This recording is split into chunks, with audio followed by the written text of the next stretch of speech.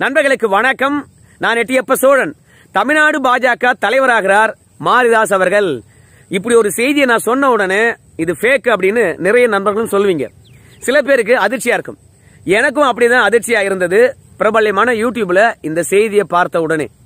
அந்த பிரபல்யமான இணைய பக்கத்திலும் இந்த செய்தியானது தரப்பட்டிருந்தது. நான் படிச்சு பார்த்தேன். அவங்க சொல்றதுல ஏதாவது கொஞ்சம் நிஜம் இருக்குதா என்று. ஆனா அவங்க சொல்ற காரணங்கள் நிஜமாகத்தான் இருக்குது. அதாவது பிரபல்யமான யூடியூப் என்றால் நம்முடைய ரங்கராஜ் பாண்டே இருக்கார் இல்லையா? அவருடைய யூடியூப்ல இந்த யூடியூபினுடைய விளம்பரம் வரும். நீங்களும் பார்த்துருக்கலாம் அடிக்கடி. அந்த யூடியூபுடைய பேரை சொல்லு அப்படின்னு கேட்டீங்கன்னா அது தொழில் தர்மம் கிடையாது. இன்னொருத்தருடைய அனுமதி இல்லாம இன்னொருத்தர் பேரை கூட சொல்லக்கூடாது. அரசியல் களத்தில் புழங்குகின்றவங்க வந்து பார்த்தீங்கன்னா பேரை சொல்லினா தான் அடையாளம் தெரியும். ஆனால் தொழில் நடத்துறவங்களுடைய பெயரை சொல்லக்கூடாது. நல்ல விஷயங்கள் கெட்ட விஷயங்கள் பல விஷயங்களை சொல்லியிருப்பாங்க. அது அவங்களை சார்ந்தது. அந்த டிஸ்கிளைமரை நாம் எடுத்துக்க முடியாது. அதனால தான் அந்த பிரபலமான யூடியூபுடைய பேரை சொல்லலை. அதாவது இப்போ நமக்குள்ள ரெண்டு கேள்வி எழுது. ஒன்று மாரிதாஸ் அவர்கள் வந்து தமிழ்நாடு பாஜக தலைவராவதற்கு தகுதி இருக்கிறதா அப்படின்றது. இரண்டாவது தமிழ்நாடு பாஜகவுக்கு புதிய தலைவர் இப்ப தேவைப்படுகிறதா அப்படின்ற கேள்வி எழுதா இல்லையா? முதல் கேள்வி தகுதி இருக்கா மாரிதாஸ் அவர்களுக்கு? அப்படின்னு கேட்டா கோவப்படுவீங்க. தமிழ்நாட்டில் யாரெல்லாம் அரசியல்வாதியா இருக்கிறாங்களோ அவங்களை விட மாரிதாஸ் அவர்களுக்கு நல்ல தகுதி இருக்குது அப்படின்ற ஒரு விஷயத்தை நீங்கள் சொல்லுவீங்க. நான் கேட்பது பாஜகவில் இணைவதற்கு மாரிதாஸ் அவர்களுக்கு தகுதி இருக்கா இல்லையான்னு கேட்கல. ஏனென்று கேட்டீங்கன்னா குப்பனும் சுப்பனும் பாஜகவில் இணையும் போது மாரிதாஸ் போன்றவங்க பாஜகவில் இணைவதில் தப்பு கிடையாது. ஆனால் தலைவர் ஆவதற்கு தகுதி இருக்குதா அப்படின்ற ஒரு கேள்வி எழுதா இல்லையா? அதாவது ஒரு நண்பர் அடிக்கடி எனக்கு போன் பண்ணக்கூடியவர் திருச்சியில் இருக்கிறவர். அவர் சொல்லுவார் மாரிதாஸ் அவர்களை வந்து பாஜகவுக்கு வாங்க அப்படின்னு அழைத்தார்களாம். கட்சியுடைய மூத்தோர் இதுக்கு முன்பாக. அப்ப மாரிதாஸ் அவர்கள் வந்து பாத்தீங்கன்னா ஒரு கண்டிஷன் போட்டாராம். நீங்க வருங்காலத்துல திமுகவுடன் கூட்டணி வைக்க கூடாது எந்தவித ஒட்டு உறவும் இருக்கக்கூடாது. அப்படின்னா நான் பாஜகவில் இணையறேன் அப்படின்ற விஷயத்தை மாரிதாஸ் அவர்கள் தெளிவுபடுத்தினதாக சொல்லுவாங்க. அதாவது மாரிதாஸ் அவர்கள் வந்து பாத்தீங்கன்னா மோடி அவர்களுடைய ரசிகர். ஆனால் மோடி அவர்களை மாரிதாஸ் அவர்கள் நம்புவாரா? அதான் மிகப்பெரிய ஒரு கேள்விக்குறி எழுது. மாரிதாஸ் அவர்கள் வந்து மோடியை நம்பி இருந்தால் நீங்க திமுகவுடன் எதிர்காலத்தில் கூட்டணி வைப்பீங்களா அப்படின்ற கேள்வியே எழுந்திருக்காது. அரசியல் களத்தை பொறுத்த வரைக்கும் வெற்றி தான் இலக்கு. அந்த வெற்றி பெற்று ஆட்சி அதிகாரத்துக்கு வந்தோம்னா தான் நாம மக்களுக்கு என்னவெல்லாம் செய்யணும். எது எல்லாம் இங்க நல்லது இல்ல அதையெல்லாம் அகற்ற முடியும் ஆட்சிக்கு வந்தாதான். சோ ஆட்சிக்கு வருவதற்கு எதெல்லாம் வெற்றியினுடைய வழிகளோ அதை ஒரு அரசியல் கட்சி நாடுவது தப்பு கிடையாது. நீங்க எந்த காலத்திலும் திமுகவுடன் கூட்டணி வைக்க கூடாது என்று சொன்னா மாரிதாஸ் அவர்கள் முதல்ல மோடி அவர்களை நம்பல. அதனால் முழுமையாக மோடி அவர்களை நம்பியிருந்தால் இந்த கேள்வி எழுந்திருக்காது. ஏனென்று கேட்டீங்கன்னா மோடி எடுக்கின்ற அத்தனை முடிவும் சரியான முடிவாகத்தான் இருக்கும். ஆகையினால நான் மோடி ரசிகனா இருப்பதனால பாஜகவில் நான் இணையிறேன் அப்படின்னு சொல்லிட்டு இணைந்திருப்பார். அதனால இங்க மோடி அவர்களை மாரிதாஸ் அவர்கள் இன்னும் நம்பல. அதாவது பாஜகவுக்கு ஆதரவா இருப்பது வேறு பாஜகவுடைய குரலாக பேசுவது என்பது வேறு ஆனால் பாஜகவை முழுமையாக நம்ப வேண்டும் அரசியல் களத்தில்.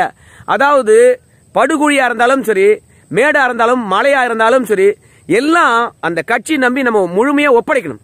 இப்போ அண்ணாமலை இருக்காரு வச்சுக்கோங்க. அவரு ஐபிஎஸ் படிச்சவர். அதிகாரியா இருந்தார். விவசாயத்தை முழுமையா நம்பினார். வெற்றியோ தோல்வியோ. நமக்கு நிம்மதி தருவது விவசாயம். எதிர்கால சந்ததியருக்கு விவசாயத்தை பற்றி சொல்லித் தரணும். அதன் அருமை பெருமையை சொல்லித் தரணும். நம்ம போய் அங்கேயே வேலை பார்ப்போம்பா. எந்திரம் போல அப்படியே அரசாங்க உத்தியம் உத்தியோகம் பணம் இப்படியே அலைவதை விட சட்டம் ஒழுங்கு இவன் குற்றவாளி அவன் குற்றவாளி விசாரணை மூளையை போட்டு துருவதை விட இயற்கை எழிலில் நல்ல சுகமான ஒரு வாழ்க்கை வாழணும்னா விவசாயத்துக்கு போலாம்பா அப்படின்னு நம்பி வந்தா பாருங்க. நம்பி வந்த விவசாயமும் கைவிடல. நம்பி வந்த பாஜகவும் கைவிடல. தேர்தலில் நிக்க சொன்னாங்க. அடாடா திமுகவை எதிர்த்து நம்ம தேர்தலில் நிக்கிறோமே வெற்றி பெறுவோமா அப்படின்ற எண்ணமெல்லாம் இல்ல. கொடுத்த வாய்ப்பை பயன்படுத்தினார் வெற்றியோ தோல்வியோ. மோடி பாத்துக்குவார் அப்படின்னார். தோல்வியா இருந்தாலும் சரி அவருடைய செயல்பாடுகள் இன்றைக்கு பாஜகனுடைய தலைவராக உயர்த்தி இருக்கிறது அதனால மாரிதாஸ் அவர்கள் வந்து முதல்ல பாஜகவை நம்பணும். அப்படி நம்பினாதான் அந்த பாஜக இணைவதற்கு ஒரு தகுதி இருக்குது என்ற பொருள்படும். இரண்டாவது தமிழ்நாடு பாஜகவுக்கு புதிய தலைவர் தேவைப்படுகிறதா? அப்படின்னு கேட்டீங்கன்னா எனக்கு தெரிஞ்சு இப்பொழுதைக்கு புதிய தலைவர் பாஜகவுக்கு தேவைப்படலை அப்படின்றது தான் அர்த்தம். ஏன்னா நம்முடைய அண்ணாமலை அவர்கள் வந்து சுறுசுறுப்பாக செயல்படுறார். திமுகவை எந்த கட்சி எதிர்க்கிறதோ இல்லையோ அண்ணாமலை அவர்கள் முதல்ல நின்று திமுகவை எதிர்க்கிறார். ஏன் திமுக மட்டும் சொல்ற அப்படின்னு கேட்டீங்கன்னா ஆளுகின்ற அரசு தான் தவறு இழுக்கும். ஆளுகின்ற அரசின் மீது தான் மக்களுக்கு எதிர்பார்ப்பு இருக்கும். அந்த தவறையும் மக்கள் எதிர்பார்க்கின்ற விஷயத்தும் செய்யலன்னு வச்சுங்க. சுட்டி காட்டுவது எதிர்கட்சியினுடைய கடமை. ஆனா எதிர்கட்சிகளா இருந்தாலும் சரி கூட்டணி கட்சிகளா இருந்தாலும் சரி செய்ய தவறியதை சுட்டி காட்டுவதும் கிடையாது. செய்கின்ற தவறையும் சுட்டி காட்டுவதே கிடையாது. அப்ப அண்ணாமலை என்ன பண்றாரு? எந்த நிலை வந்தாலும் எனக்கு பரவாயில்ல. மக்களுக்கு தானே நான் சேவையாற்ற வந்திருக்கேன். அதனால மக்கள் குரலாக இருந்து நான் உங்ககிட்ட மக்களுடைய தேவைகளை கொண்டு வந்து சேர்ப்பேன். நீங்க என்னன்னா பண்ணிட்டு போங்க என்று அரசியல் களத்துல சும்மா இறங்கி விளையாடுறார். இந்த மாதிரி இருக்கிற இந்த தருணத்துல புதிய தலைவர் தேவைப்படுகிறதா என்று கேட்டால் தேவைப்படல என்றுதான் நம்முடைய அர- எண்ணமா இருக்குது. இரண்டாவது ஆறு மாதங்கள் ஆகிறது. எந்த ஒரு தவறான விஷயங்களும் அண்ணாமலை மீது இன்னும் குறிப்பிடல. அப்படி இருக்கும் பொழுது அதிருப்தி இல்லாம ஒரு தலைவரை மாற்றி விட்டு புதிய தலைவரை கொண்டு வந்தோம்னு வச்சுங்க. அதுக்கப்புறம் பாஜக இருக்கின்ற தொண்டர்களே வந்து பாத்தீங்கன்னா எதிர்ப்பு தெரிவிப்பாங்க. இரண்டாவது பாஜகவை நம்பி இருக்கின்ற பொதுமக்களுக்கு ஒரு சோர்வு ஏற்படும். அதனால புதிய தலைவர் பாஜகவுக்கு இப்போதைக்கு தேவையில்லை. ஆனால் என்றைக்குமே தேவையில்லையா அப்படின்னு கேட்டீங்கன்னா என்றைக்குமே சரி தேவையில்லை என்று சொல்லவே முடியாது. இப்போ அண்ணாமலை அவர்கள் வந்து முதலமைச்சர் வேட்பாளராக போயிட்டாருன்னு வச்சுங்க. முதலமைச்சர் வேட்பாளராக முன்னிறுத்தி பாஜக தலைவராக ஒருத்தர் இருந்து பிரச்சாரம் பண்ணணும். சோ அந்த நேரத்தில் மாரிதாஸ் அவர்கள் தேவைப்படுகின்றார். அதாவது அந்த பிரபலமான யூடியூப் வந்து பாத்தீங்கன்னா மாரிதாசுடைய தேவை பாஜகவுக்கு இருக்குதா அப்படின்னு கேட்கும்பொழுது கண்டிப்பா இருக்குதுங்க.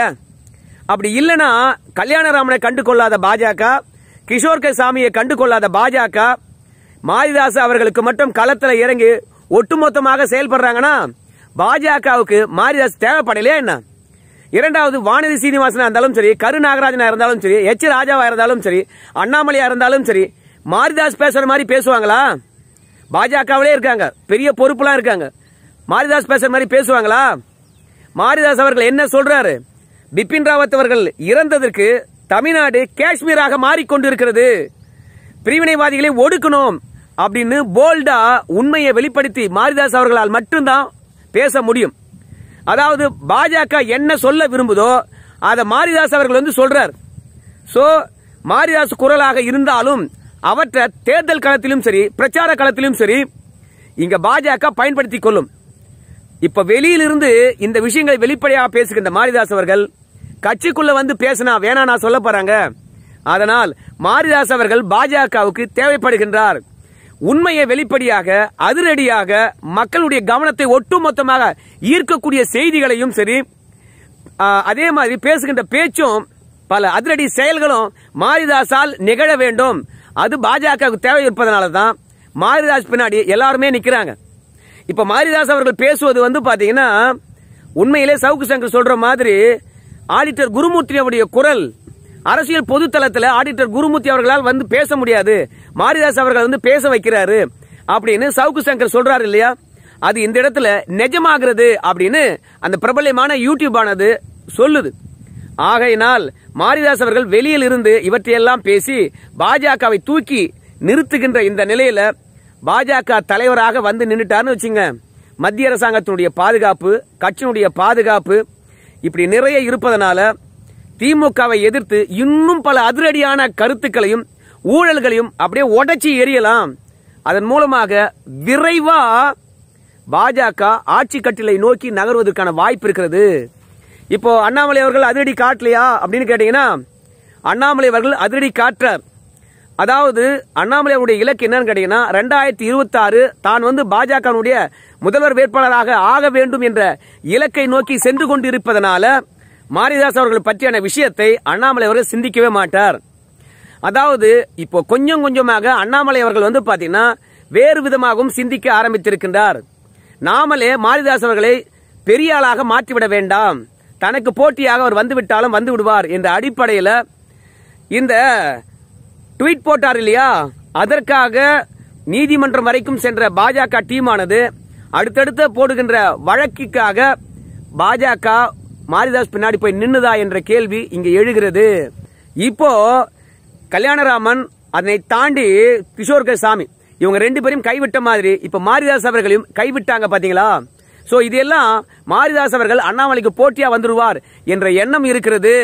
அதனாலதான் மாரிதாஸ் பற்றியான விஷயங்களை கொஞ்சம் கொஞ்சமாக பேசுவதை அண்ணாமலை அவர்கள் குறைத்து கொண்டு வரார் அப்படின்னு அந்த பிரபலமான யூடியூப் ஆனது சொல்லுது. மாரிதாஸ் தேவை பாஜகவுக்கு இருக்கிறது. ஆனால் தலைமை வரைக்கும் தேவைப்படலை. அதாவது மத்தியில் இருக்கின்ற பாஜக பொறுத்த வரைக்கும் தமிழ்நாட்டு பாஜகவை அடுத்த கட்டத்துக்கு கொண்டு செல்ல வேண்டும் என்றால் யாரு பயன்படுவாங்களோ அவங்கள வந்து நியமிச்சிருவாங்க. அதாவது தமிழ்நாடு அரசியல் களமானது பாஜக கீழே இருக்கணும். அதுக்கு மாரிதாஸ் தான் சரியான ஆள்னா அண்ணாமலை வந்து நம்மளை நம்பி வந்தாரப்பா. அவர் ஐபிஎஸ் பதவியெல்லாம் விட்டு வந்திருக்காரு. ஆனால் இன்னைக்கு திடீர்னு தூக்கி எறியுமே அப்படின்லாம் சிந்திக்க மாட்டாங்க. அதாவது ராஜ்நாத் சிங் பாஜகனுடைய அகில இந்திய தலைவராக இருக்கின்ற பொழுது அத்வானியை கட்சி ஆரம்பித்தவர்களில் ஒருத்தர். நான் பிரதமர் வேட்பாளர் என்று அவர் முன்னிறுத்தி கொண்டார். ஆனால் ராஜ்நாத் சிங் என்ன சொன்னார்? வெற்றி தான் முக்கியம். சும்மா கட்சி ஆரம்பித்தவர்கள் நானும் ஒருத்தன் அப்படின்னு முரண்டு பிடிச்சேன்னா பாஜகவை குழி தோண்டி புதைக்க வேண்டியதுதான். அதனால அமைதியா போங்க என்று அத்வானியை தூக்கி எறிந்து விட்டு மோடியை முன்னிறுத்தி தேர்தலை சந்தித்து பாஜக வெற்றி பெற்றது. வெற்றி இலக்கென்றால் மாரிதாசா வேண்டுமென்றால் மாரிதாசை கொண்டாந்து போட்டுருவாங்க. அண்ணாமலையெல்லாம் பார்க்க மாட்டாங்க. அதனாலதான் அண்ணாமலை அவர்கள் கொஞ்சம் மாரிதாஸ் அவர்களை தவிர்ப்பது போல தெரிகிறது என்று அந்த பிரபலமான யூடியூப் ஆனது பேசுகிறது. எந்த ஒரு மாரிதாசுக்கும் அண்ணாமலைக்கும் இடையில விரிசல் கிடையாது. இப்ப அரசியல் களத்துல இருவரும் இணைந்து பணியாற்றினார்கள் வச்சுங்க. கண்டிப்பா தமிழ்நாடுடைய அரசியல் தட்ப வெப்பமானது அப்படியே தலைகீழா மாறும். அதற்காக இப்பொழுதே வந்து பாத்தீங்கன்னா பிரிவினை ஏற்படுத்த வேண்டும் என்ற எண்ணத்துல வந்து செயல்படுறாங்க என்று நினைக்கிறேன். மாரிதாஸ் அவர்கள் வந்து பாஜக இணைவதற்கு தகுதியும் இருக்கிறது. தலைவராக வேண்டும் என்றால் அனுபவம் வேண்டும் என்று சொல்லுவாங்க. அண்ணாமலை அவர்கள் வந்து பாஜக இணைந்தார். என்ன அனுபவம் இருந்தது? மாரிதாஸை பொறுத்த வரைக்கும் கிட்டத்தட்ட எனக்கு தெரிந்த ஒரு நான்காண்டு காலமாக தமிழக அரசியல் களத்தில் கலக்கி கொண்டு இருக்கின்றவர் அரசியலுக்கே வராம அரசியல் கட்சிகளால் பழிவாங்கப்பட்டவர் வந்து பாத்தீங்கன்னா மாரிதாஸ் அவர்கள். அதனால நல்லாவே வந்து பாத்தீங்கன்னா மாரிதாஸ் அவர்களுக்கு அனுபவம் இருக்கிறது என்பதுல சந்தேகமே கிடையாது. இப்ப அண்ணாமலை அவர்கள் வந்து அனுபவத்தின் போரில் தான் வந்து தலைவராகினாங்களா எச் ராஜாவை தலைவராகிக்கலாமே கிட்டத்தட்ட பாஜகவுக்காக ஒரு நாற்பது வருஷமா பாடுபடுறாரு. ஸோ அப்படிலாம் கிடையாது. வெற்றியினுடைய இலக்கு யாரால எட்டி பிடிக்க முடியுமோ அவங்கள கொண்டு வந்து நிறுத்துவாங்க மத்திய பாஜக. அந்த அடிப்படையில் மாரிதாஸ் அவர்கள் வந்து பாஜக தலைவராவதற்கான வாய்ப்பு இருக்கிறது என்று அந்த யூடியூப் சேனலும் சொல்லுது. நம்முடைய அனுபவமும் அதை தான் சொல்லுகிறது. உங்களுடைய மேலான கருத்தை தெரிவிங்க. நன்றி நண்பர்களே.